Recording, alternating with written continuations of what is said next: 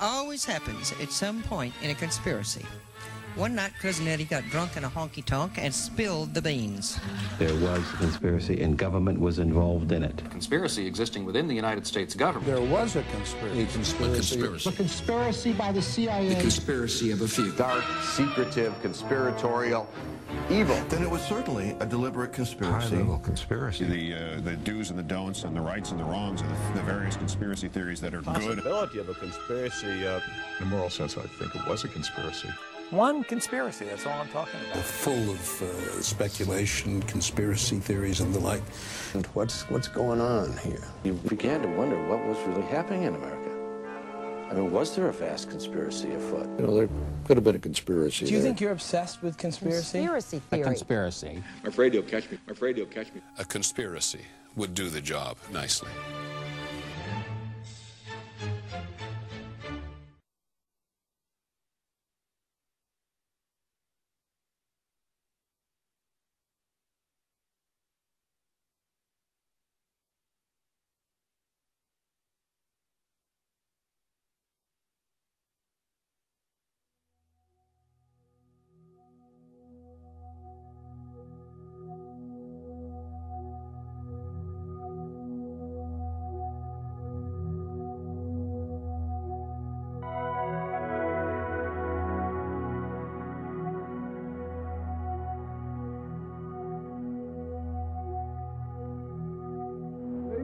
Gentlemen, we have a press report over the virus. We hope that it is unconfirmed, but we have to doubt it. The President of the United States has been the victim of an assassination.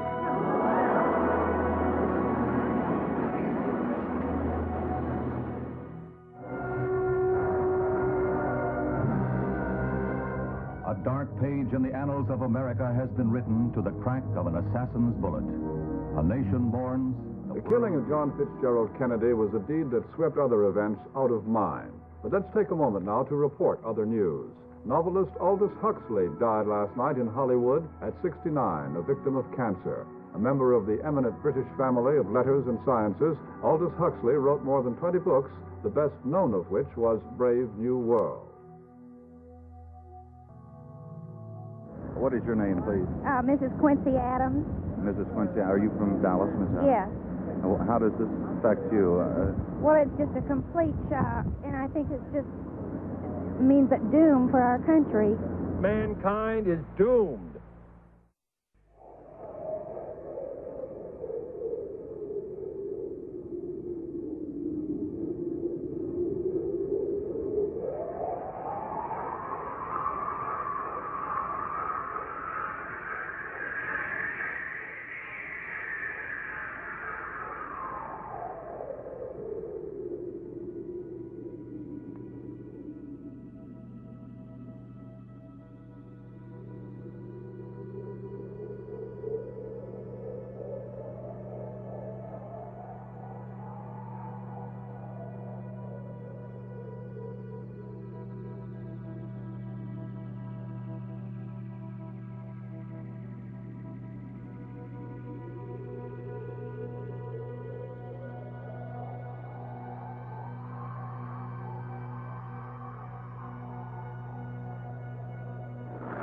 A macabre, ironic footnote to the news of this day from Houston. Houston Police Chief H. Buddy McGill revealed tonight that police in his city received four telephone calls yesterday threatening the president's life while he was in Houston.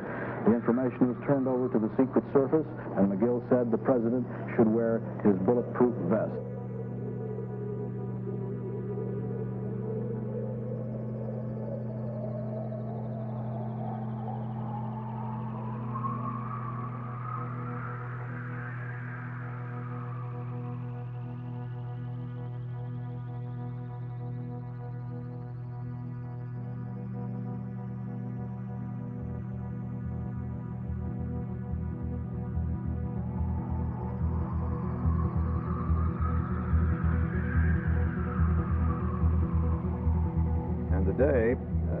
Stevenson has revealed that he had two conversations with the White House about possible dangers to the president in Dallas, Texas. He talked with Arthur Schlesinger Jr., one of the president's aides, about the incident uh, in Dallas right after it took place. And he said that he, Adlai Stevenson, was told at that time by some members of the Dallas business community that they thought perhaps it was not a good idea for President Kennedy to carry out his plan, which was known then to visit Dallas uh, on the fateful November 22nd. Now, the law enforcement agencies in this area are going to do everything within their power to ensure that no untoward accident or incident occurs. We will take immediate action if any suspicious conduct is observed. And we also urge all good citizens to be alert for such conduct. It should be reported to officers immediately. These officers will be stationed at close intervals along the route that the President will travel. Citizens themselves may take action if it becomes obvious that someone is planning to commit an act that is harmful or degrading to the President of the United States. A interesting development from the home of evangelist Billy Graham, where it was said from that North Carolina location that the evangelist had had a premonition that President Kennedy uh, should not go to Texas, and he says that he tried but failed to contact the president in an effort to persuade him not to go to Texas. You and I have heard in recent months someone say those Kennedys ought to be shot. The talk was that the president should not make this trip. However, it was decided that the security precautions were such that he could make it without any problem. And now, the word that we have is that the President of the United States is dead. Bobby Kennedy came up with uh, talking to, to John Kennedy and saying, you know, if you go too far in negotiations with Khrushchev and with the communists, you're going to get assassinated. People in this country don't want the President of the United States to make deals with the communists. I received a letter from a lady in Dallas saying, tell the president not to come to Dallas. Somebody's going to be out to kill him. I was stunned by this letter. And I went to see the president. I said, look, this is a warning. I mean, you've really got to be careful when you go to Dallas. He said, Mrs. Lincoln, I can't live a life where I'm afraid to go out in the public. I, I can, you know, if they want to get me, they can get me in church. I'm still going to Dallas.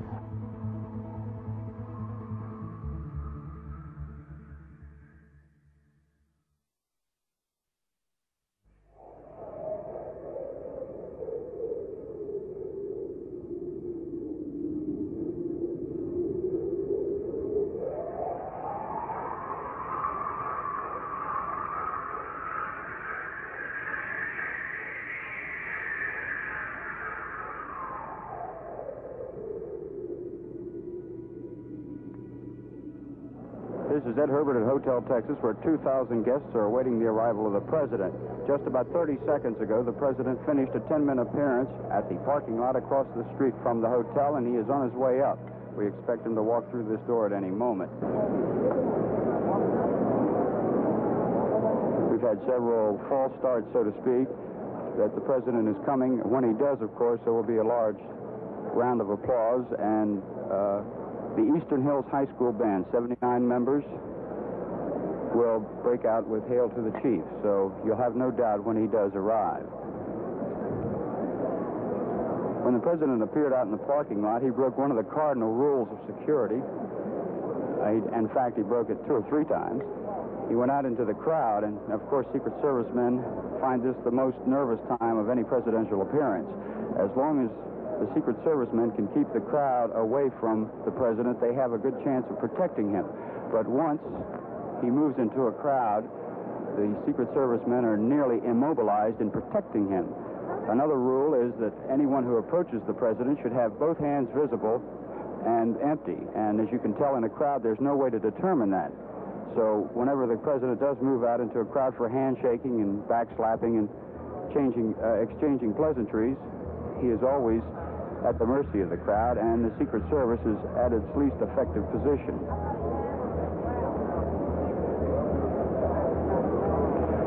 September 6, 1901, those two rules were broken, and it ended in tragedy. That was the day that President William McKinley was appearing at the Pan American Exposition in Buffalo, New York, and at a public reception, the crowd moved in around him, and the three Secret Service men who were guarding him had no chance to screen the people approaching him. Because it was a hot day, Secret Service also allowed persons to have handkerchiefs in their hands to wipe their perspiring brows. It just so happened that one of the thousands of handkerchiefs in that large hall covered a revolver in the hand of 28-year-old Leon Czolgosz. He was an unemployed mill worker. He said he was an anarchist. He was also uh, a, was a man with a long history of mental illness. And as in many important occasions of the world, no one seemed to sense that anything different was going to happen. When McKinley reached out to shake Czolgosz's hand, it looked like a familiar scene. The scene of the President of the United States shaking hands with Fred Nobody. The assassin shattered that picture quickly. He slapped McKinley's hand away and fired two shots point blank. In an instant, McKinley's attacker was driven to the floor. As the president was being helped to a chair, McKinley murmured, Don't let them hurt him. Seven days later, McKinley was dead. Oddly enough, the assassination attempt was staged in the Temple of Music, quite an ironical note, and there was a quiet Bach sonata being played in the background when the two fatal shots rang out. Now here comes Vice President Johnson, Governor Connally, Senator Ralph Yarborough, Congressman Jim Wright, State Senator Don Kennard. Here comes the president.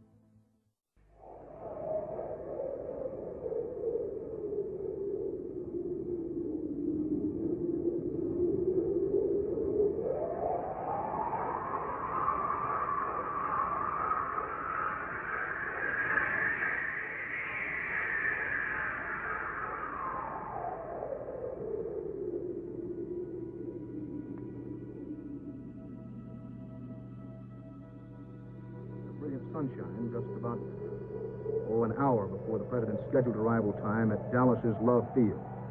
This was the crowd at Love Field, a particularly large greeting crowd. Uh, it was described that way by Dallas police and Mayor Earl Cabell. It's ironic that the rain stopped before the president's arrival in Dallas. Had it continued raining, a bulletproof bubble top which fits over the sleek presidential convertible would have undoubtedly been used today and possibly would have prevented the assassination.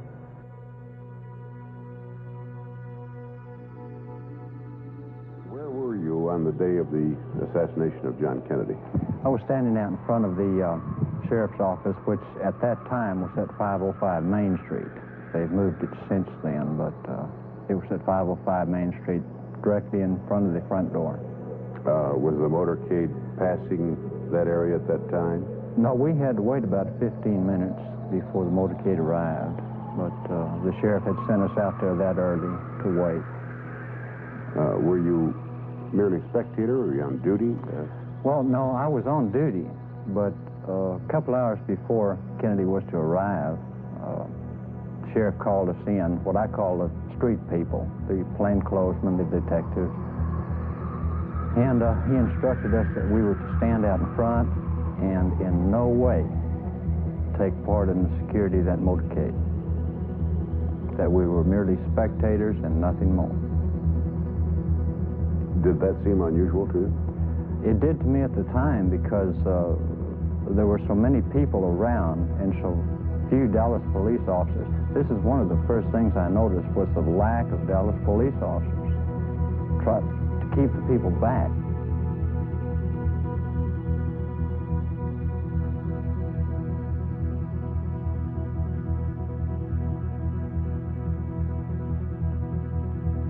Uh, the president came by and they made the right turn on to Houston Street. And, oh, I'll say, you know, a few seconds later, give them time to get to Elm Street and make the left. I heard what was a, what I call it a report, a gunshot. And I said, well, I said, oh my God. And I turned and started toward Houston Street, running just as hard as I could. And I was probably 15 steps from Houston Street. And before I reached those 15 steps, I heard two more reports. Then you arrived at Elm Street. That's Right. The second shot, the third shot total, hit President Kennedy, and there was no doubt there. His head went forward with considerable violence.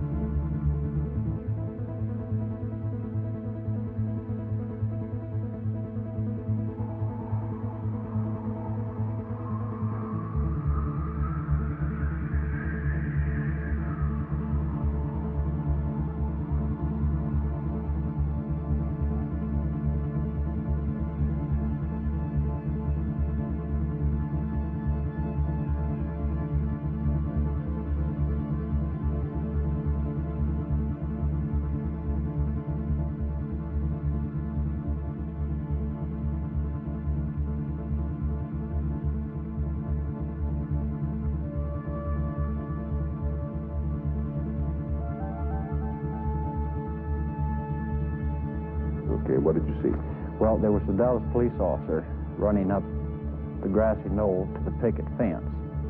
So I immediately assumed the motorcade had, had left by then. And I immediately assumed that he knew something about the shots or he wouldn't have been headed for the picket fence. So I followed him. Were you aware the president had been hit? Not at that time. Now, uh, people were mentioning the president was shot, and someone else said a Secret Service agent was shot, and there were just stories flying all over. But my interest was to get behind that picket fence because that's where that Dallas police officer was headed. And uh, he was in the motorcade. It was motorcycle. Or he was a traffic officer.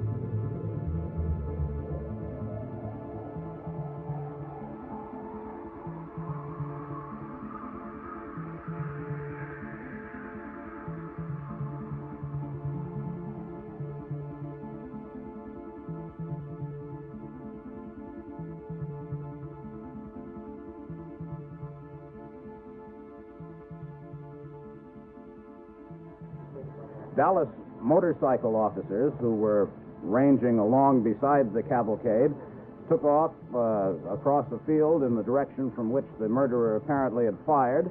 One officer raced to the foot of a nearby railroad embankment and climbed to the tracks above, gun in hand. And you say, of course, that the motorcade speeded up immediately and rushed and, towards and hospital. disappeared under the underpass, and I had jumped out by that time and was running with the police. They thought the assailant had fled over some railroad tracks, and they came through uh, what they thought was the assailant through several trains uh, standing on the tracks, and I went with them, and therefore didn't see the president immediately uh, as he went under the underpass. Well, did they apprehend this person they were No, uh, they apprehended nobody at that time. They went back and started talking to witnesses on the scene. I see.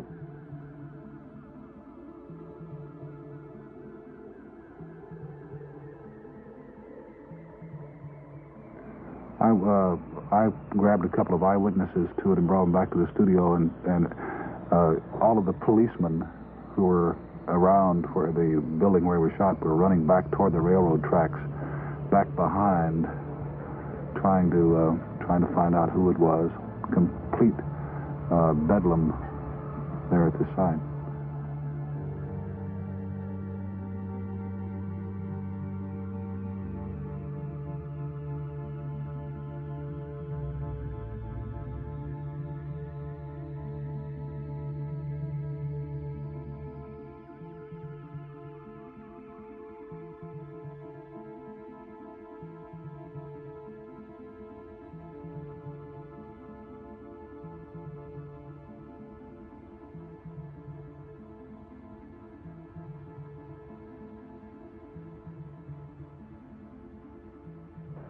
I worked in that area for, oh, probably, oh, seven, eight minutes, maybe, something like that, Mhm. until I ran on to uh, uh, Mr. and Mrs. Arnold Rowland.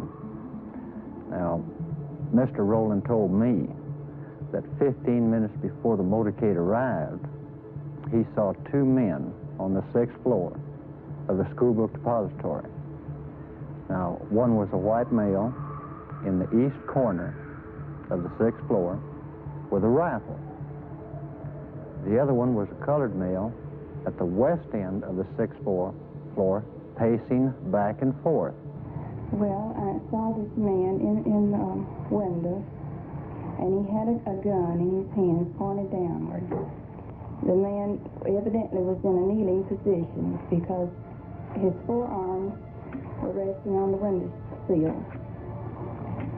There was another man standing beside him, but I only saw a portion of his body because he, he was standing partly against, uh, behind the window, you know, only halfway in the window. And the window was dirty and I couldn't see his face up above. Also, the window was pushed up. And it startled me, and um, then I thought, well, they probably have guards possibly in all the buildings. So uh, I didn't say anything. And I heard one shot, and I thought at the time that the first shot was a firecracker. And uh, two more shots. And then uh, a second, two seconds later, one more that uh, wasn't as loud as the others. And uh, then I thought, oh, it's gunshot. And a woman looked at me and pointed at this building. I went uh, to the south side of Elm Street to look for any uh, signs of any bullets striking the curb or the street or anything. Uh, by this time, it had been established that the president had been shot. And uh, Deputy Sheriff Buddy Walthers joined me at that time.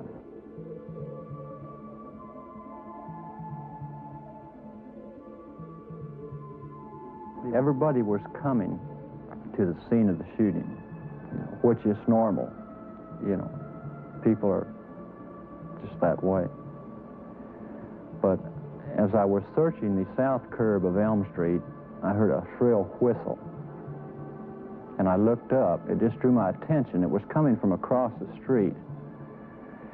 And there was a light green Rambler station wagon driving real slow west on Elm Street.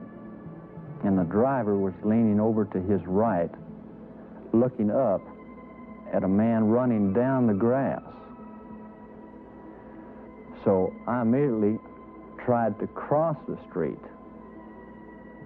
to take these two people into custody for questioning.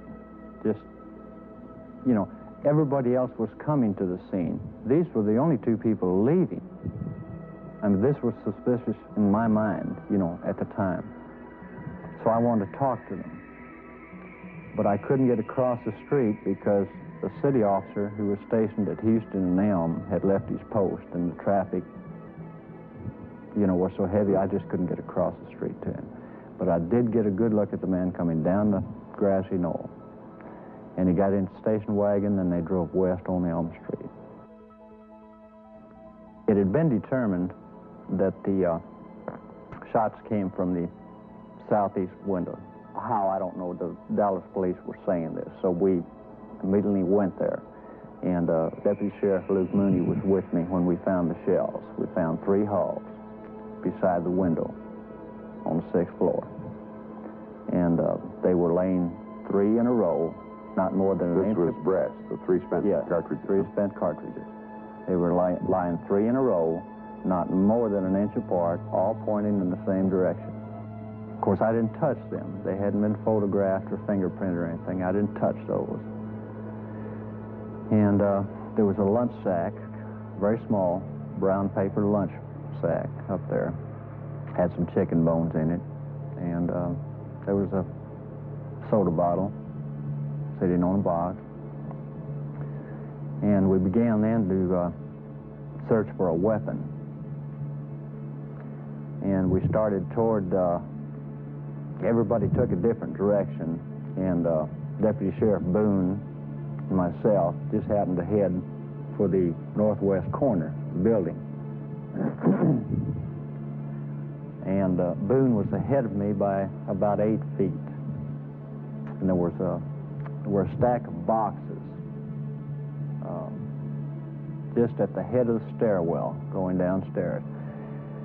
And Boone looked over into it and said, Here it is. Here's the rifle. So I immediately went over beside him and looked over, and there was a rifle. But we didn't touch it until Captain Fritz and Lieutenant Day from the ID department of the Dallas Police Department got there. Now, Captain Fritz was chief of homicide, Lieutenant Day was from the Identification Bureau. They got there and uh, took some pictures of the rifle. And then uh, I believe Dave pulled the rifle out and handed it to Captain Fritz, who held it up by the, uh, had a strap on it. He held it up by the strap and asked if anyone knew what kind of rifle it was. Well, by this time, Deputy Constable Seymour Weitzman had joined us. And uh, Weitzman was a uh, gun buff. He had a sporting goods store at one time. He was very good at, with weapons. And he said it looked like a Mauser. And he walked over to Fritz. And Captain Fritz was holding the rifle up in the air. And I was standing next to Weitzman, who was standing next to Fritz. And we weren't any more than six or eight inches from the rifle. And stamped right on the barrel of the rifle was 7.65 Mauser. And that's when Weitzman said it is a Mauser and pointed to the 7.65 Mauser stamp on the barrel. There's an intonation to that statement that it should mean something. Well, the shells we found came from a 6.5 Italian rifle. You mean those three The cartridges? two don't relate. Three cartridges that were Found not at the southeast corner. in the southeast corner. Came from a 6.5 Italian carbine.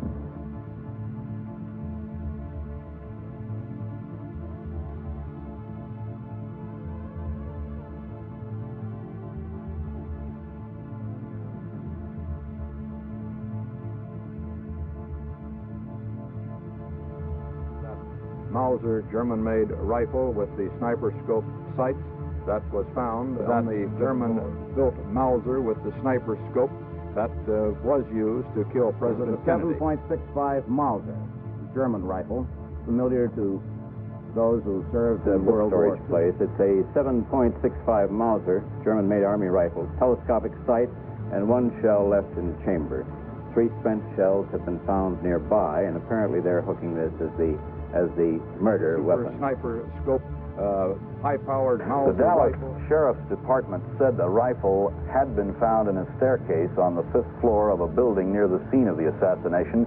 It was a 7.65 Mauser. A German Mauser, I believe. There is is what it uh, another word that a Mauser has been found. Mauser. Oswald worked in the building where the murder weapon, a German-made Mauser rifle, was one discovered. still found in the Mauser with which the assassin was apparently armed.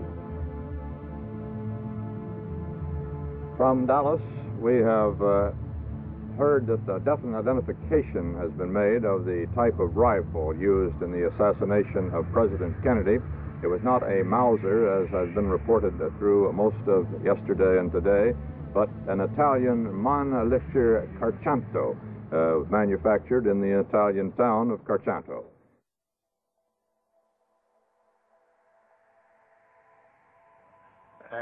I've, I've always had a, a memory, matter of fact, I've had nightmares about it, of the sunlight on, on Kennedy and uh, the explosion, the car almost coming to a stop, almost to a dead stop, and then But what I couldn't really believe that someone else mentioned was the car had, after that first shot, had come practically to a stop.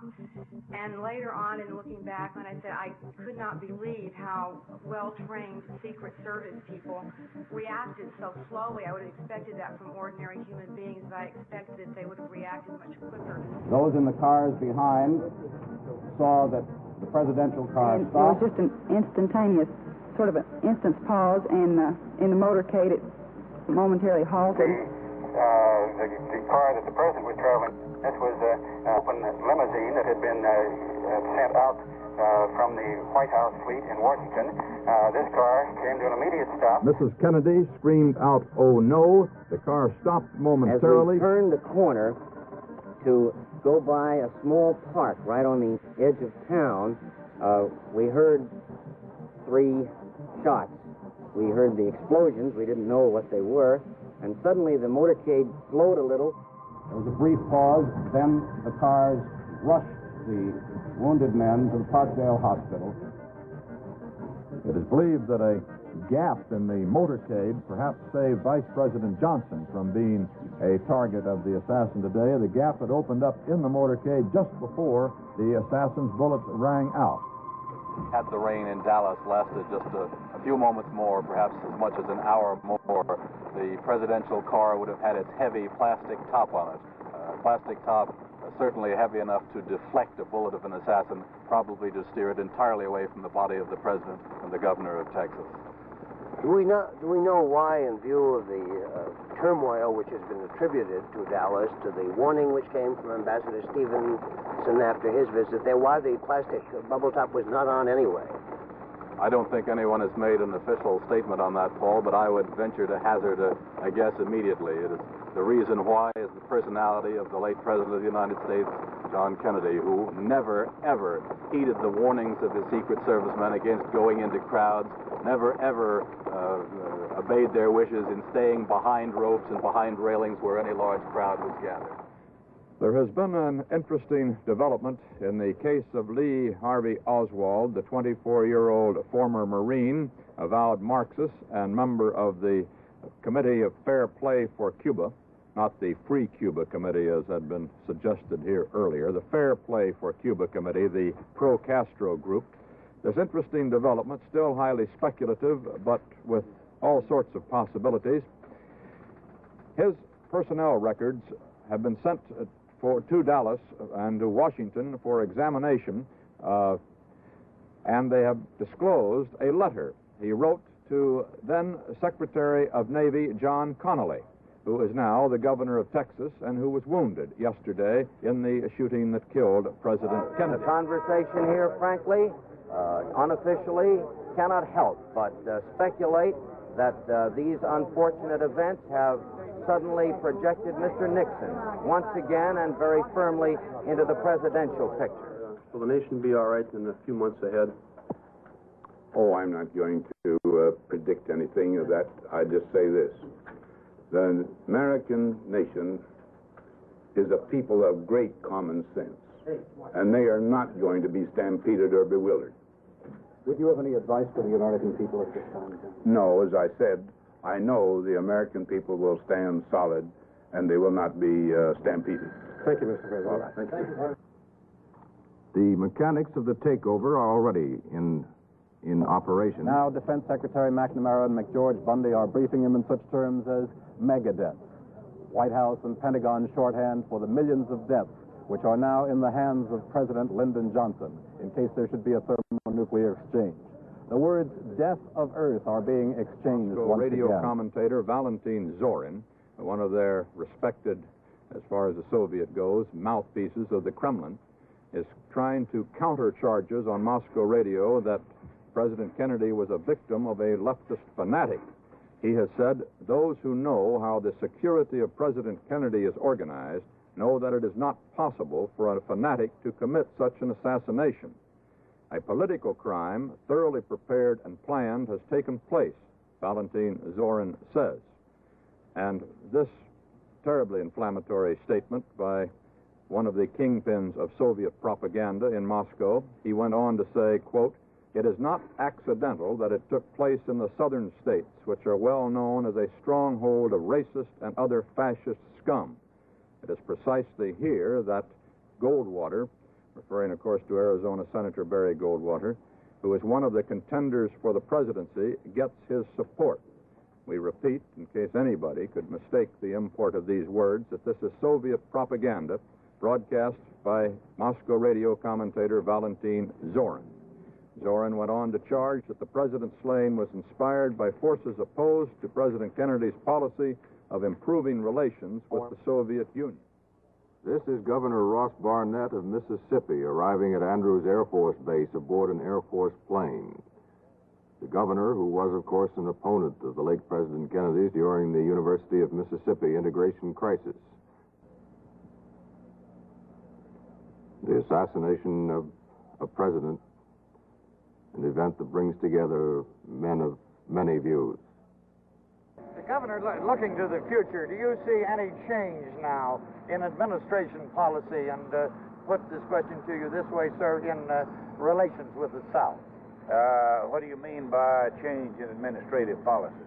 Well, I was thinking, of course, basically upon the differences which the South has had with the Kennedy administration. Yes. Well, I couldn't answer that at this time. I wouldn't know.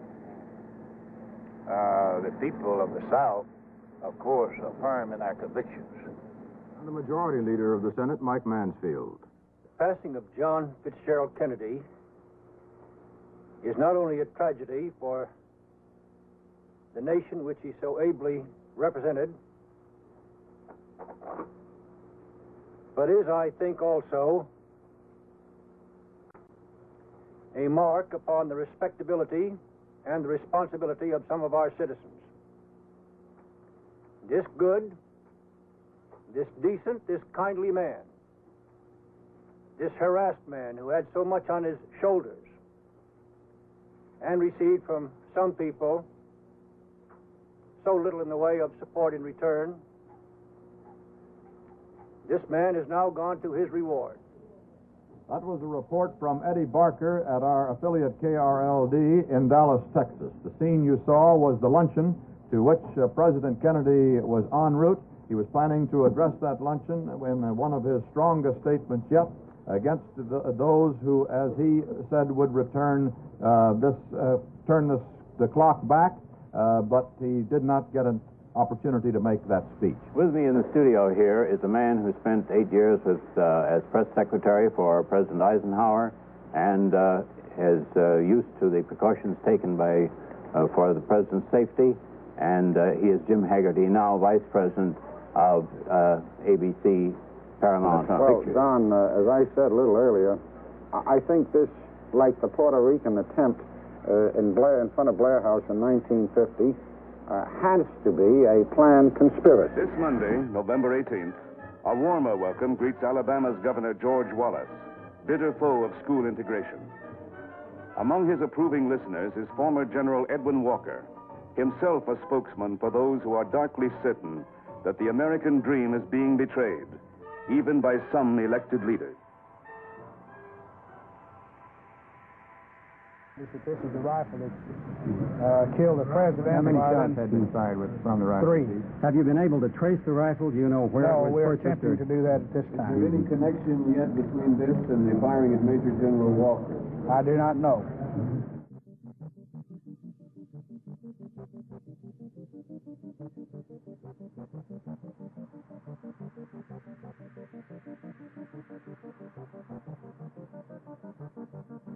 Dallas, Texas, the first comment from former Major General Edwin Walker, who is one of the more vocal right wing leaders in the United States. And he said that the death of Mr. Kennedy is not as surprising as it is tragic. This prepared statement he handed to newsmen from his Dallas home said this tragic events of yesterday demonstrate the internal threat that can never be underestimated. Do you expect a confession from this man? No. Would you say it's a strong case? I think it's sufficient. What is the evidence that links him to the gun? I don't care to go into the evidence. I don't know how long the other man has What worked. type of establishment? Oswald got to the other side of town. Is there No. anything that can be come up of that? Did he get over by a bus, by a car? He I, couldn't have I walked. don't know. Uh, we have heard that uh, he was picked up by a Negro in a car. That is not confirmed. No, it's not confirmed as far as I know. Are you looking for the Negro? We would like to know about him. If he, if this is, if this is so, we would certainly like to find him. Chief Curry, could you detail for us what led you to Oswald? Not exactly, except uh, in the building we. Uh, So this, this must have been a, a very carefully planned, uh, terrible tragedy uh, and conspiracy. That what? Why, why did you decide to try this personally yourself? Well, I generally try the major cases, and I believe this will be classed as a major case. And he was going to be, uh, I would imagine, yes, it would. and from the cities of the United States, where a nation is in almost, I, I, I'd say it advisedly, almost uncontrollable shock, it seems. They're weeping on the streets. Schools have to be dismissed. My own school was uh, dismissed because the children were weeping so much they couldn't stay in class. Quite a tragic day, we all obviously know. Do you want me to relieve you a few minutes here? If I stay on the air, certainly, all of this is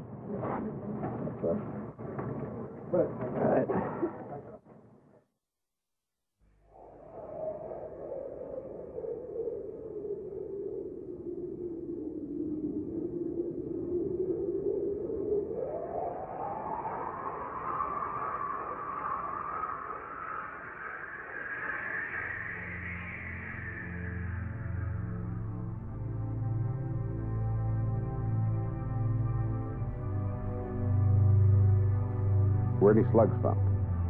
145 slug. It was found on the south side of Elm Street. Outside. Outside on the grass. And when we got down there near this cover, we were standing near it, and I looked down, Manhole cover? manhole cover, and I saw this piece of dirt raised up like a ground mold would, but it didn't go down. It went in the across the ground Mm-hmm. under it, and I bent over and I traced it for several foot back, and a policeman appeared and traced it with me, and I said, "What in the world is this?"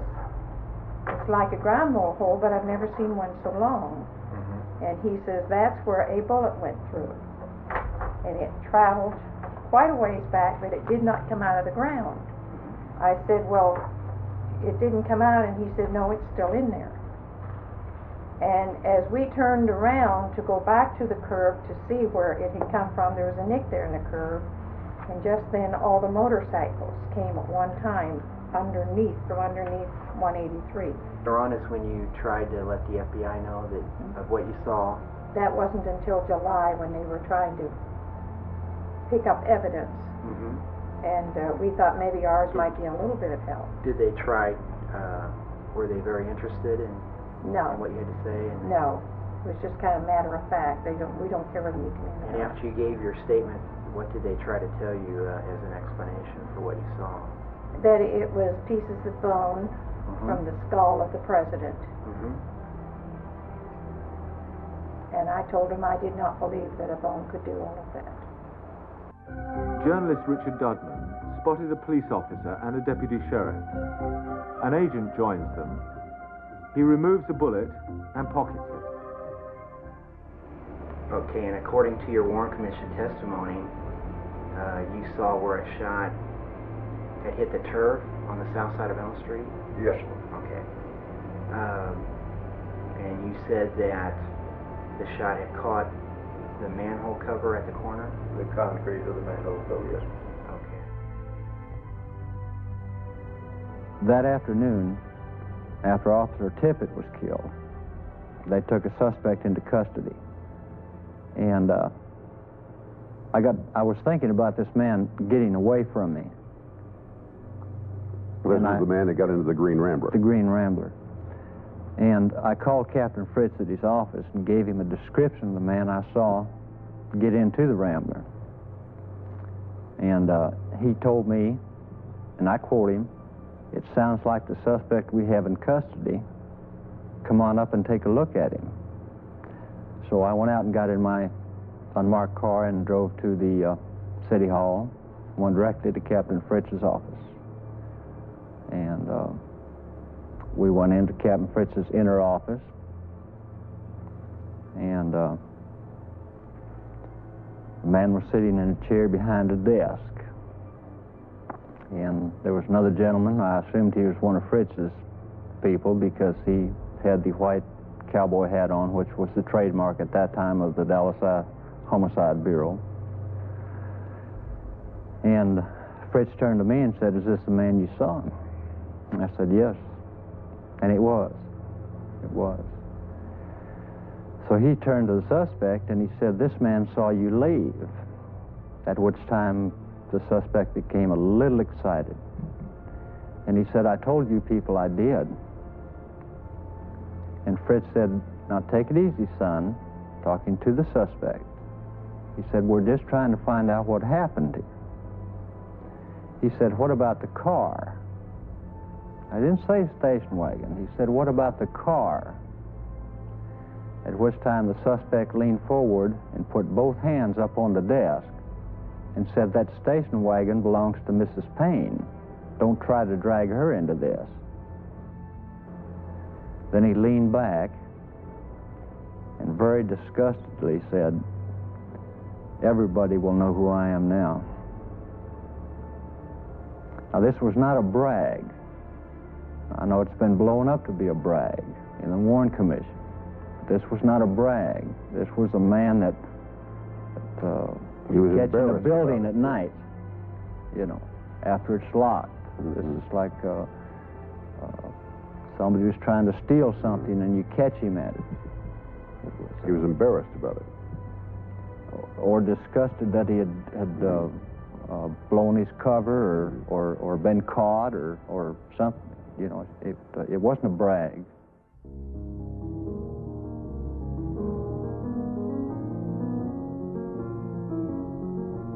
People have given me a hearing without legal representation or anything. You shoot the president? I didn't shoot anybody, no, sir. We just heard uh, Oswald who said he did not shoot anybody. I'm being pummeled here. Being pummeled very heavily.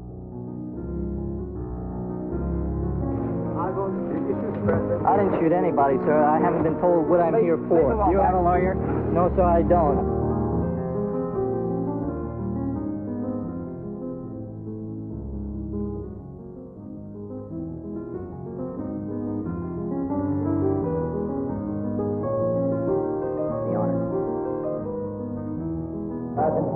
A t-shirt. Now they're saying you're going to line up among these men. That one yeah, will be kicked out. Right? charged with the murder of President Kennedy as he is led from the police headquarters in Dallas Perhaps being transferred now to the county jail. Let's switch down there and see if we can pick up word of it. Jail office here, and will now be taken to the police show-up room. Our cameras are being moved there now.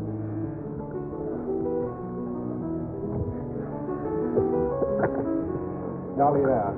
let me.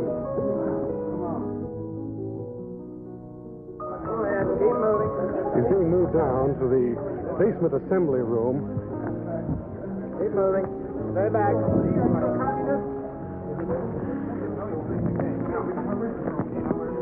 He'll be taken down to the basement assembly room where he will confront the assembly of press gathered here at the police station for the past 10 hours or so of interrogation.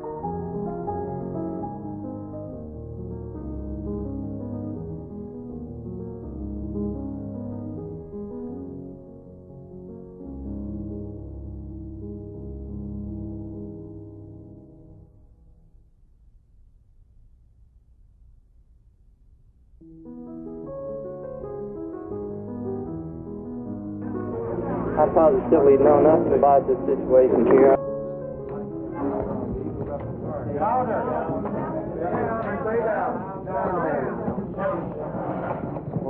Uh, questioned by judge. However, I uh, protested at that time that I was not allowed legal representation.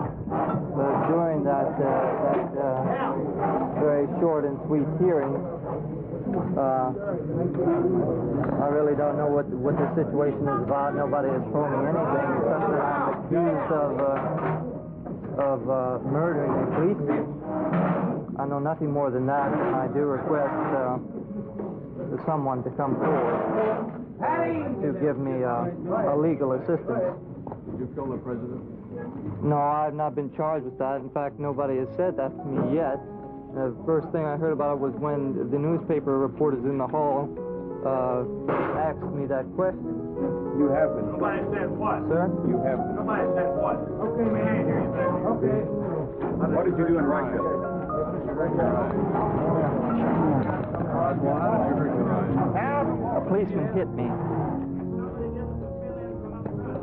That was Oswald. Lee Oswald, who was charged with the murder of the President of the United Less States. than two hours after the president was shot, less than one hour after a Dallas policeman was shot and killed in the downtown area. Oswald first was charged with killing the policeman. Officers say they have an eyewitness to that shooting. After further questioning, he was formally charged with the president's death. Oswald has admitted nothing.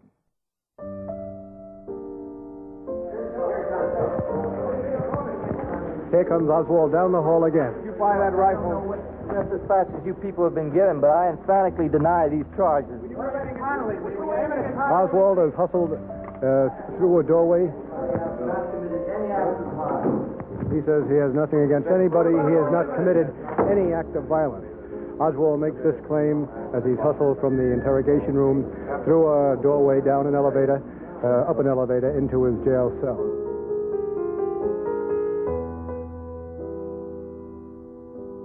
I'd like some legal representation.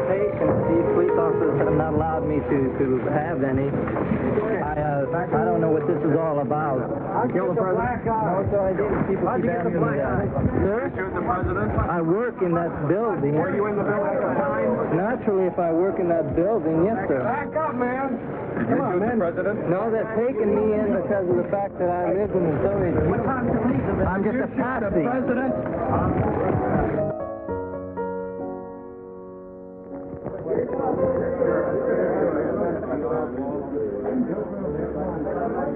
And here comes Lee Harvey Oswald. His back is to you. You can't quite see him. His face is still. Basic fundamental hygienic uh, rights, I mean, like a shower and a go. Before he's uh, pushed into a door for questioning, he said he would like certain basic fundamental rights, including the right to take a shower. Now, of course, we don't know if he's deprived of uh, this privilege that uh, he calls a right. Do you mind if we shout a question at him without stopping him? No question at him, no All right, way. all right. The more you upset him, the more difficult it is for us All to We, we want to do we want to do whatever you want us to do. So if you say no questions, If you go beyond the door. then Back up as far as you can against that wall. I want you to say. Can we call that the second part of the interrogation? No. Don't want you calling out nothing. let's make it clear we let's make it clear we have all agreed with the chief that we will not ask Oswald any questions. We want to cooperate with you, gentlemen, every way in the world we can. But if we have to, we may have to ask you to get back beyond this door and say, Just opened. Here is Lee Oswald, the ex-Marine accused of killing President Kennedy. We interrupted the proceedings at the White House to go to the uh, Dallas jail. Let's throw it to Nelson Benton there. Oswald's face is rather badly bruised. Police explained yesterday that there was a sharp scuffle when he was arrested in the Dallas theater. reporters back away from There were no questions put to Oswald by reporters. We agreed at the request of the chief of police that we would make no effort to question him here this say, he could say it. However, as you saw, Oswald went by and had nothing to say. He's gone into the homicide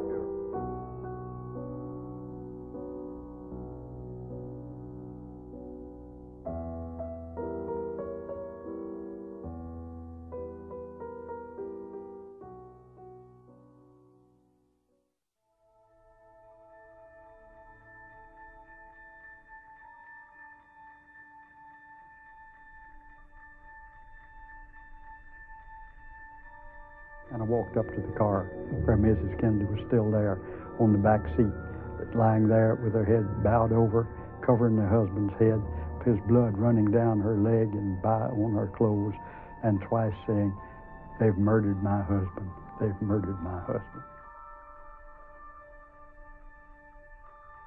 My first thought was, they got him. I said, my God, they're, they're going to kill us all. My God, they're going to kill us all. And I said, My God, they're going to kill us all. And I said, oh my God, they're going to kill us all. And then I said, my God, they're going to kill us all. Jacqueline Kennedy stayed close to her husband's casket during the two hour and 20 minute flight back to Washington. And she stayed close once Air Force One landed at Andrews Air Force Base, still wearing her blood stained clothes. Let them see what they've done, she said. He uh, fired Allen Dulles, longtime director of Central Intelligence. Uh, General Cabell was deputy. And it's interesting to recall that General Cabell was brother of the mayor of Dallas at the time President Kennedy was killed. And John Kennedy's words when he when he fired him were um, roughly along these lines: that if this were England, I would have to go, but this is America, and you have to go. Well, General Cabell never forgave him for that, especially for causing the end of a brilliant uh, intelligence career, and. Uh, you can't help but feel that that's not totally irrelevant to the, the subsequent events when John Kennedy attempted to drive in an open car through the town where General Cabell's brother was mayor. Many Dallasites kept saying it just can't be true. Mayor Earl Cabell, as he rushed away from the hospital. Mayor, I would uh, think that the feeling is that the bro- in the broad moral sense, at least, that all of us share in uh, what has uh, happened here today. But this uh, city, as you say, is not a city where things like this are done. The minority, it's a loud one, and today, uh, this tragic thing that happens really once in a lifetime. This is a guilt that doesn't belong to a few. This is a guilt uh, of the nation.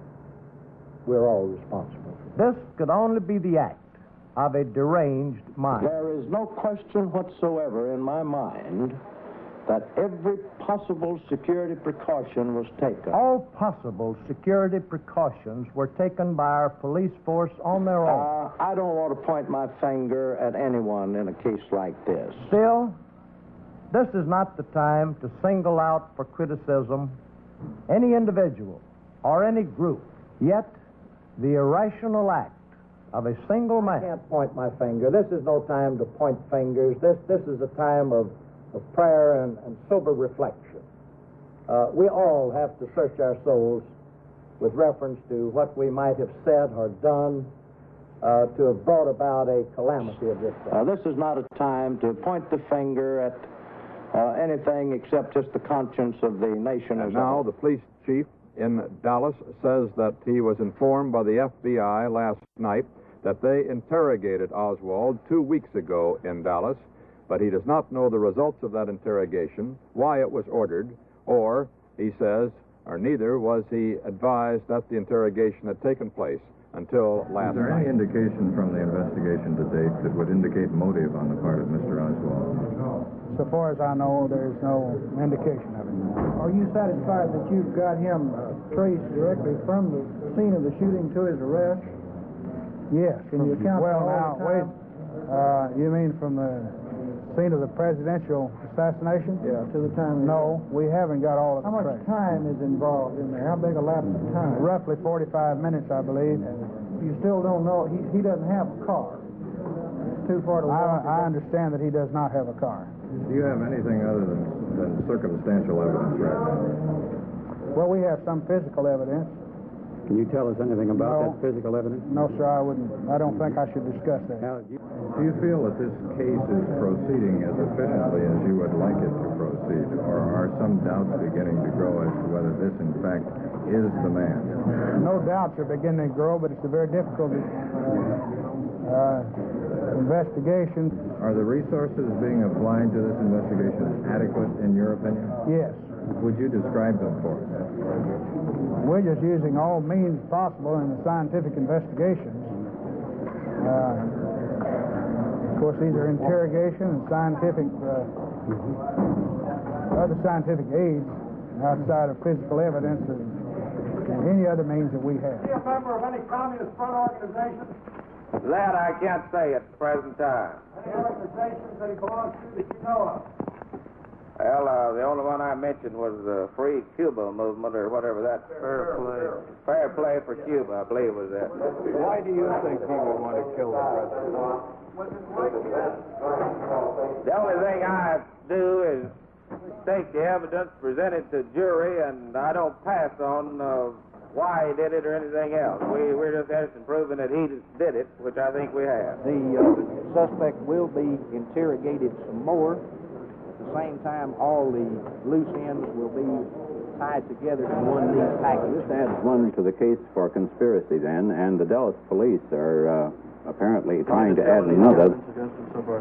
No, we're still working on the evidence. This has been a joint effort by the Secret Service, the Federal Bureau of Investigation, the Dallas Police Department, the Dallas Sheriff's Office, my office, and Captain Will Fritz has been in charge of it.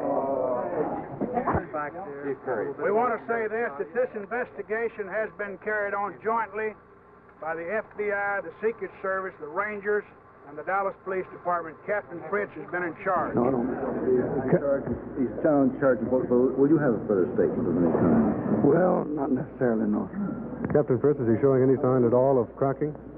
No, I couldn't say about that. Captain Will Fritz, the chief interrogator of Lee Oswald here at the Dallas County Police Station. Captain, How far back have you been able to trace it? I wouldn't want to. To. Was it Ford in town, for instance? I wouldn't want to talk What about, about that the right now. Thank you. Did you talk to him? Do you know who was the bus driver? Yes, sir. We know the bus driver. Yes, sir. What does he say about what? Uh, this interview is being conducted with Captain Will Fritz, chief of the Dallas Homicide Squad. Uh, Mr. Fritz enjoys a reputation, one of the finest interrogators, not only in the state of Texas, but in the Southwest. Uh, he's been uh, working constantly on Lee Oswald, but as he himself says, he feels no closer to a confession now than he did before. This, of course, is uh, nothing detrimental to the captain. It does say something about the determination of Lee Oswald. Sir, He said he was. Very, he's been more cooperative. What did he guilty about? He hasn't admitted anything. Uh, I mean, has, has he, has he given any any story at all about his movements or his feelings in this thing? He has, sir. Did he make fingerprints on the gun? I wouldn't want to wouldn't want to talk about the prints and. Uh, Without going into the evidence, before first talking to the district attorney, I can tell you that this case is cinched. That this man killed the president. And there, there's no question in, in my mind about it. Captain Will Fritz, the chief of detectives of Dallas, told newsmen earlier today we have the case cinched. Captain Fritz would not go into detail on evidence which makes him come to this conclusion. Well, I am presently in the basement of the Dallas Municipal Building, and it is like an armed camp. For the past half hour, scores of police have been filing past me, carrying riot guns and rifles. Police officials are frankly worried. They don't want anything to happen to Oswald. Thank you, Bill. We have other remote facilities at the county jail now, awaiting the arrival of Lee Oswald from the city jail to the uh, county jail. And for the situation there now, here is ABC's Roger Sharp reporting. At the scene of last Friday's assassination, this is a curious crowd. No obvious anger in their faces, but all possible security precautions have been taken.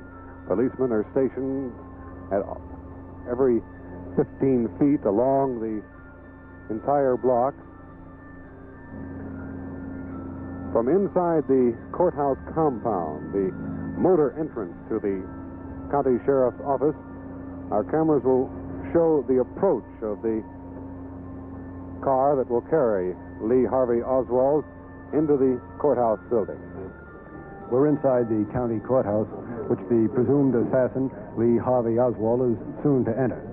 He'll be taken uh, immediately to a booking room, and a very historic booking will be made. Next, into an ID room, where he'll be photographed and fingerprinted. And then, representatives of the press will have their first opportunity for a real front to front confrontation. Now, our big television cameras can't fit in that room, but we'll shoot that on sound film, and just as soon as that's processed, you'll be able to see it.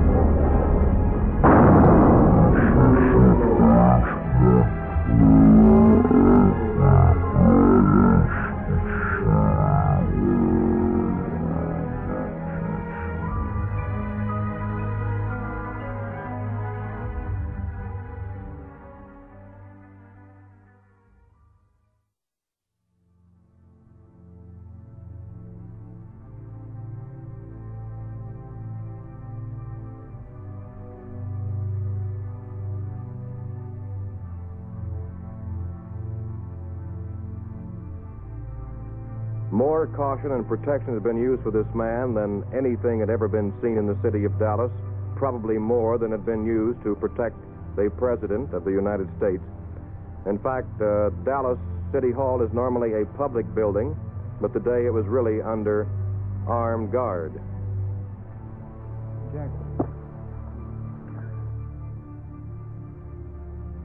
An ambulance apparently had been standing by in case of emergency. It was rushed up and Oswald put into it, taken to Parkland Hospital. Dean said, uh, one man up there said that uh, the suspect, Ruby, was mumbling as officers seized him. So far. Lee Oswald is currently undergoing surgery for a single gunshot wound that entered on his left side and did not exit. The patient is in extremely critical condition. Dr. Shires will make a personal statement when the surgery is completed. Mr. Landregan, uh, you indicated that you had made some preparations for this eventuality. Uh, as I said, our, our job is to be prepared. We had received word that there was quite a crowd down there, and uh, on the possibility that there might be some type of disorder, we had alerted our emergency room to be prepared. From additional information we found out is that early this morning, according to a Dallas police officer, they received the following call. Quote, I don't want any problems. I don't want any policemen to get hurt. But there's one group that's going to get, we leave a word out, that man referring to Oswald when he is transferred. This call reportedly came in uh, early this morning. there was possibility they would, but they. Uh... Were they ready to bring him down here? Yeah. We're outside of the courthouse where a crowd of several hundred had gathered, awaiting the arrival of Lee Harvey Oswald. Ten blocks away at City Hall, that arrival stopped by apparently a bullet. This crowd, when word flashed through the crowd that Oswald had been shot, broke out into a cheer. The crowd has been dispersing for the past five minutes, many of them uh, just getting the news. What's your reaction to uh, hearing that suspect Oswald has been shot down?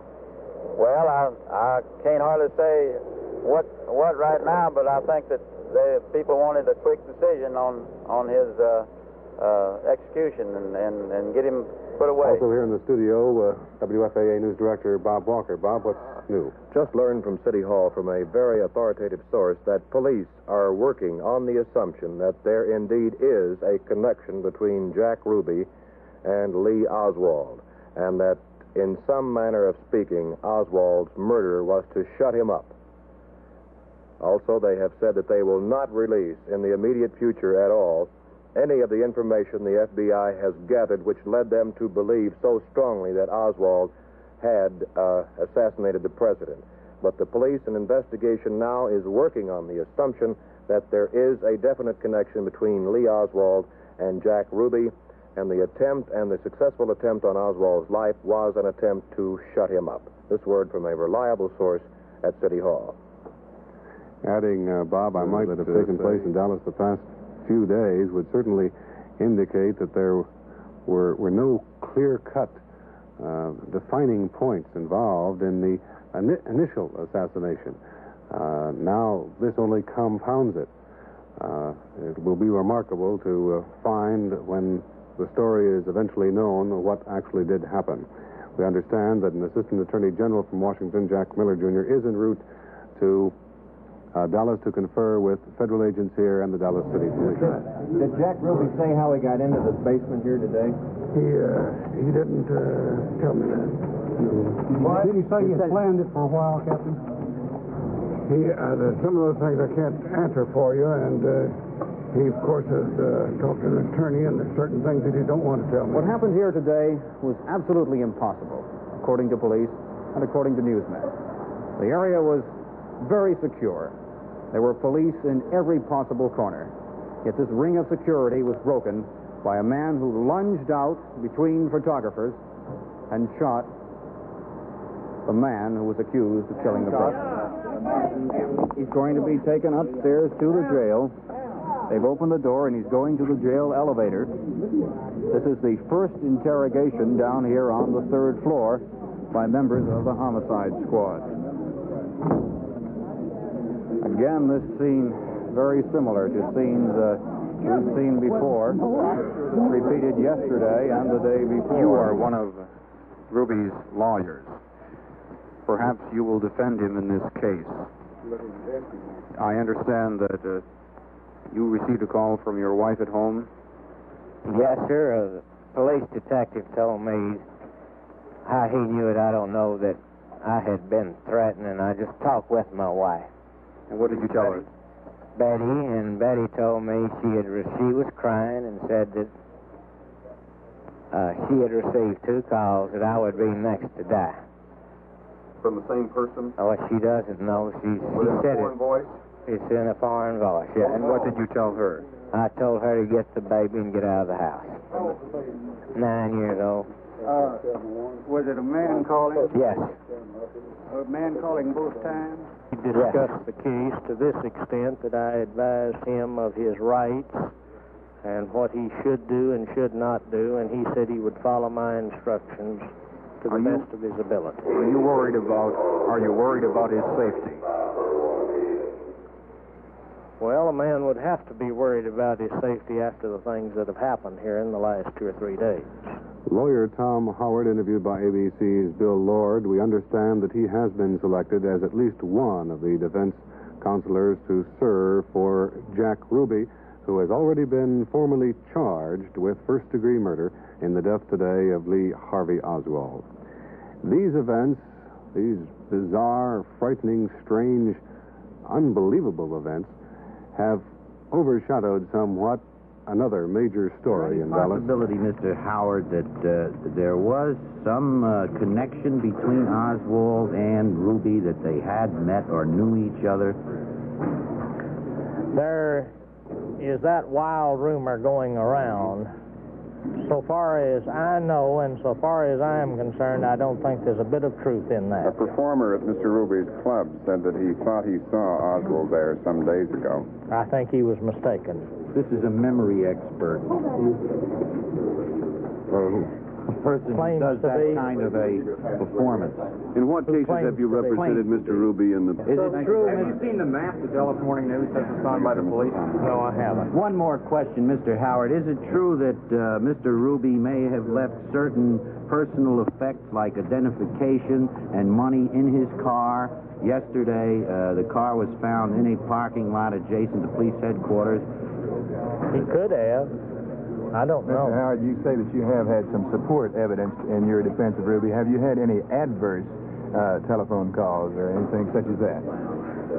Had one crank call, you know, the kind you get in cases like this. Uh, To what effect? oh, something about the hate group's going to get you or something like that.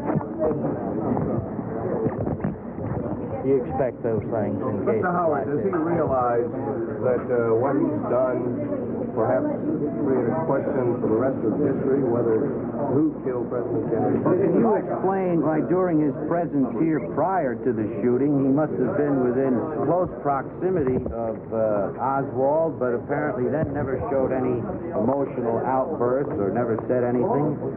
He was here uh, at times when it is believed that Oswald would have passed him by. Uh, he was around a group of people.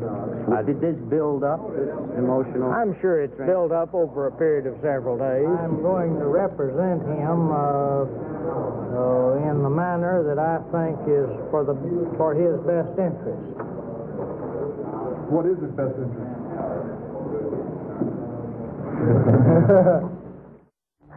And now the headliner of our show, direct from New Orleans. Ladies and gentlemen, Jada! Jada, how long did you know Jack Ruby? I knew Jack Ruby for approximately four, five, six months. In what relationship? I was employed as the uh, feature at the Carousel Club, and I had known Jack before I went to work there, and uh, I had a slight hassle with Jack, and I had left, and uh, that was the end of my association with What Jack. about politics? Did he seem interested in politics? Particularly regarding the Kennedys. I have heard Jack talk about the Kennedys, and I've been trying to think, and it's so confusing today, but I believe he disliked Bobby Kennedy. Can't, no recollection of what he had ever said about the president. Uh, yes, he followed that statement up about Bobby with something about uh, Jack Kennedy, but I can't, for the minute, just form it in my mind. Do you think that uh, Jack Ruby is the type of man that was capable of killing the assassin of President Kennedy out of love for Kennedy, out of political motives? Uh, I don't think he loved Kennedy that much. Uh, I don't know why he would do it. I'd say he would be perfectly capable of an act like that. Uh, very much so. But the reasons for it, those are hard to pin down, as the portrait of Jack Ruby emerges piece by piece. This is for good ABC. To understand that the city officials of Dallas, the city police officials, Police Chief Jess Curry, and federal agents are meeting at this uh, hour at the chief's office and are awaiting the arrival from Washington of a key Justice Department official, apparently to piece together the strange facts and the multitude of rumors and suspicious Do you think it was unusual for Jack Ruby to be in that crowd? I don't pass on that. Uh, unusual for being that crowd? I don't. Reports that had been Well, I was. I haven't been here since last night, so I don't know anything about deliberate today. story is that Oswald and Ruby were previously appointed. I think I heard it on radio or something, but I don't know anything about it. We had a chance to talk to Ruby. I have not talked with. Okay. No, sir, I've not talked with either one of them. Well, will, will, will we get a chance to talk to them? or see him? I don't know anything about that. You know- I, this was entirely about going over the evidence that I thought some of you would want. You know Ruby before this. No, sir. Saw him in this very same room Friday night when we had the defendant up There was here. a steak party for the Texas Bar Association in the Adolphus Hotel. Were you there? No, sir, I wasn't there. As a matter of fact, some of, oh, excuse me. If some of you will recall, he asked a question from out here in the audience, or answered a question. He's standing right back here, and I didn't know who he was. I thought he was a member of the press, and he told me as we walked out of here that he was a nightclub operator here. What question did he ask? What? What question did he ask? I don't remember, but he, he uh, maybe it was an answer, but he said something. I, Remember it was Friday night when I asked you to do an interview with me on the phone, and you had another call, and, and Ruby was hanging around in the background. You were on the phone, and I said, uh, and I wa- and then you had to uh, go away, and I and I asked Ruby uh, because he seemed to me like a detective. He seemed to be all over this place. I said, would you see if you could get him on the phone over to here, here now? And he went around, and he got you, and he brought you over to my telephone. it might have been where he told me who he was. I didn't know who he was either. When he, uh, I think someone here answered that question in that he answered a question. Somebody asked something, and he answered it back there, and I don't know what it was. I think it was some question about a street or an address or a name or something. You look to me like you're a good friend. I don't know. conspiracy, Watson. If you knew the true facts, you'd be amazed at it. In what way? It'll be proven in a few days later what the charges will be filed against me, plus the fact of the assassination. A complete conspiracy against me, Watson. The only thing I can say, what is your name, and I'll know how to address Harry Kendall. Harry Kendall. Everything pertaining to what's happening has never come to the surface. The world will never know the true facts of what occurred, my motives. Uh, in other words, I'm the only person in the background that knows the truth pertaining to everything relating to my circumstances. Do you think it'll ever come out? No, because uh, unfortunately, the uh, the people have that have so much to gain and, and have such an ulterior motive for putting me in a position I'm in will never let the true facts come above board to the to the world. Now, these people are in very high positions, Jack. Yes. Judge Burt Griffin was one of the legal counsel for the Warren Commission. He now feels that the commission was duped by the CIA. I feel betrayed. I confronted Burt Griffin, who was one of the lawyers for the Warren Commission, with this column. He never heard of it. It was in a program in Cleveland. We were on a television show together, and I said, "What about this?" He never heard of it. And I said, "Well, how could you not know about it?" He said, "I didn't know about it." I said, "Well, what was your?" He said, "Well, my area was basically was Jack Ruby." I said, "Okay." Did, did, did Ruby testify before the House Un-American Activities Committee? He said, "Not to my knowledge." Well, here's the exhibit. You, act release for Jack Ruby to testify. It's at the stationery of the Department of Justice, FBI, signed by, sworn to by a staff assistant, the 24th of November 1947. And it says that uh, Mr. Jack Rubenstein of Chicago, noted as a potential witness, should be uh, not be called for open testimony. In the hearings, it should be closed testimony. You know why it had to be closed? Because he was an informant. This is what it said. He's providing information functions for the staff of Congressman. Are you ready? Congressman Richard M. Nixon, Republican of California. Jack Ruby worked for Richard Nixon in 1947 and testified before the House Un-American Activities Committee, and the lawyer for the Warren Commission in charge of Jack Ruby's background never heard about that until I showed it to him about two weeks ago. I mentioned about Adlai Stevens. If he was vice president, there would never have been an assassination of our beloved President Kennedy. Was your strong going? Well, the answer is the man in office now.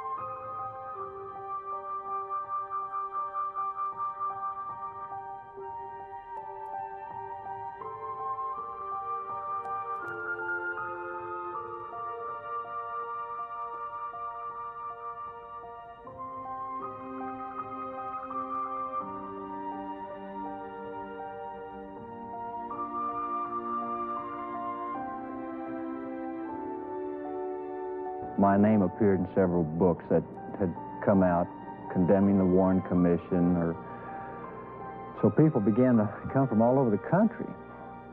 And they'd come in and ask me if they could talk to me and ask me what happened on that day. And I saw nothing wrong with telling them what I saw and heard.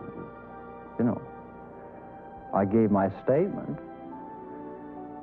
So uh, the sheriff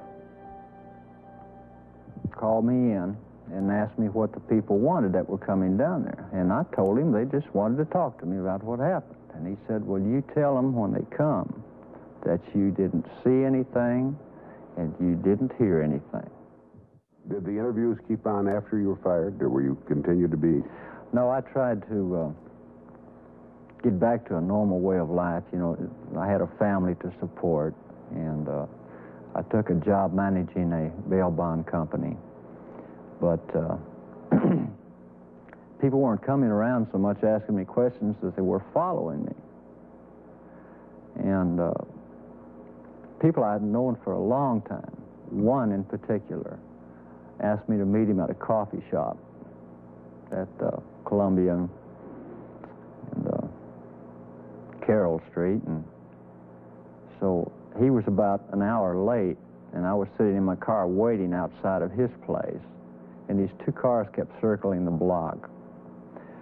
So we took, uh, finally he arrived and we went over and we had our coffee. We were followed in by this man in a checkered jacket that was driving one of the cars. So by the time we finished our coffee, we started to leave. The man jumped up and he left first. And we walked out and uh, went over to Columbia Street we were standing on the curb, and all of a sudden my friend fell to the ground. And I thought, well, he stumbled, you know. And for some reason, I stepped off of the curb, and when I did, a shot came from behind and uh, passed over my left ear, and uh, I headed for my car immediately and uh, went home. And, uh, Your friend dropped, in other words, to be out of the line the shot of fire. was fired. He apparently he knew what was going to happen. That's my conclusion now. I was digging up some information actually for uh, Jim Garrison and, and, and Penn Jones Jr. of Midlothian. I was digging up some information that they wanted, you know, in Dallas. And I parked my car on the side of the street, and I went to get this information. And when I came back and cranked up my car, it blew up. The engine caught fire, the hood came up, the firewall blew out. Uh, I had uh, uh, all the fuses blew, and uh, I was burnt in the chest area, and I had pieces of glass and metal in the chest, small pieces. I don't know what they put in it, but uh, It's not possible the car itself could have malfunctioned done it. not that much of an explosion, no. Uh-uh. Somebody put a bomb in your car. Somebody put something in it. This last time we had a case work in West Texas in the Davis Mountains. And my boss sent me out there. And uh, he called the client who was on a three party line and told him what flight I was coming in into Midland on, where I was going to rent my car, where I would meet him, and at what time. So I flew into Midland, I rented the car, and I arrived. I was about two miles from where I was supposed to meet the client, a mile or two miles from where I was supposed to meet him. I was supposed to meet him at 3 o'clock, and it was 2.55 then. And I rounded a curve, and there were two men standing outside of a car that was parked crossways in the road. And there wasn't anything to do but try to go around them, and I tried, and I missed, and I went over the edge of the mountain, and I rolled end over end for 90 feet or so. I broke my back in two places. I broke my left shoulder. I tore the ulnar nerve and ligaments out of my left elbow, crushed my left foot, my right leg. I spent a year in a hospital, four major surgeries, two on my back, and I'm now totally disabled in the back, partially disabled in the right leg, and uh, unemployed again. Do you think anyone else is going to come forward and uh, tell it like it was? Or I'm- they saw it? I don't know. I yeah, I can't speak for anyone else. Do you think it'll help your situation if someone else does? Or do you think they too would be harassed and put down? I don't. If they knew something really important, uh, one of us would have to go. You can't have corroborating witnesses. It's uh, Um, there are people who know something very important. I'm sure they are now. Buddy Walthers was one of them that knew something very important, but he was shot to death here a couple of years ago. Now I have two friends that were on the bond desk. Uh, one of them was still talking to me, and uh, he died of cancer. And then uh, the other one, he died here, I believe, last December of a kidney infection. And then uh, there was another one that was still talking to me. And uh, they, these were all people with the sheriff's office now. And uh, he died. And uh, I'm not really sure what he died of. I called the, the sheriff and, and offered my condolences, you know, and, and, and all the sheriff had to say was he had more chain than he could carry, the man that died.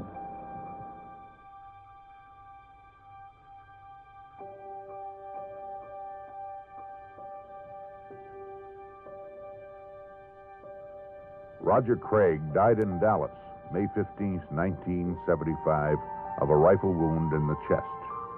He owned two pistols. The coroner's verdict? Suicide.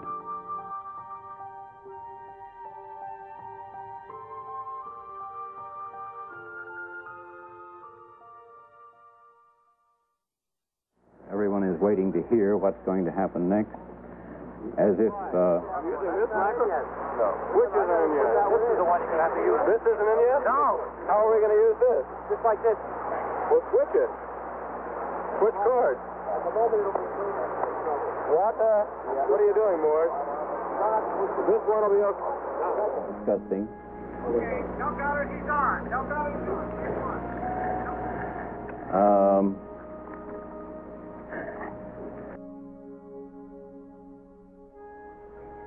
yes. Walker. Uh, I'm uh, I'm on the network uh, feed now. Kennedy came up with uh, talking to, to John Kennedy and saying, you know, if you go too far,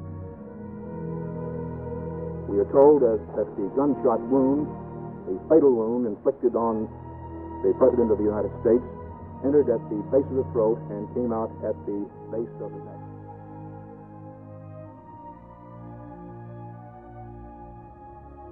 It does somehow seem strange that uh, the governor, who so strongly, we might even say bitterly, opposed some of the policies of President Kennedy, has elected to come to Washington. This is Captain Will Fritz of the Dallas Police Department. Chief of Detectives is a man who's known as perhaps one of the most astute crime investigators in the whole Southwest. Captain, where do you think your investigation stands now? Does it look good? Yes, it looks real good. I think we're in good shape. At 3.39 this afternoon, Eastern Time, in that presidential jet parked at Dallas Airport, Lyndon Baines Johnson became the 36th President of the United States. The oath administered by Federal Judge Hughes.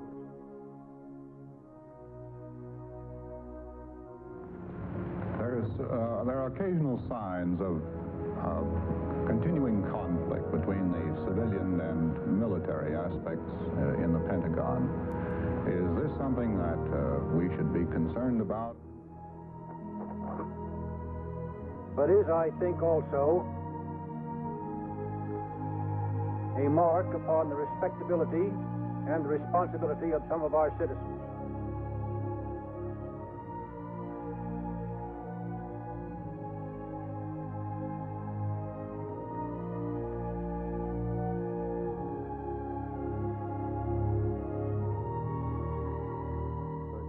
Sum up what progress was made today toward a confession, if any? I, well, I don't think we've made any progress toward a confession. At the turn of this century, one out of every three American presidents were either killed or shot. Why he did it or anything else. We, we're just after proving that he just did it, which I think we have. He said, Mrs. Lincoln, I can't live a life where I'm afraid to go out in the public. I, uh, President Kennedy, we are told, was shot in the right temple.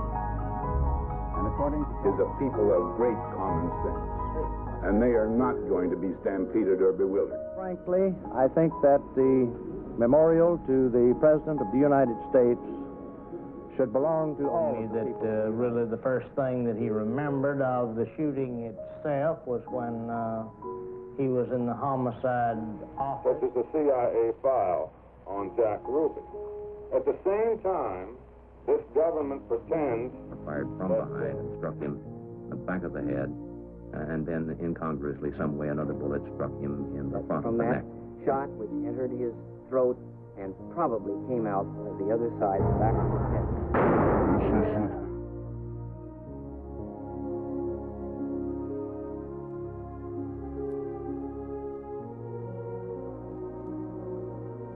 Well, there was a Dallas police officer running up the grassy knoll to the picket fence.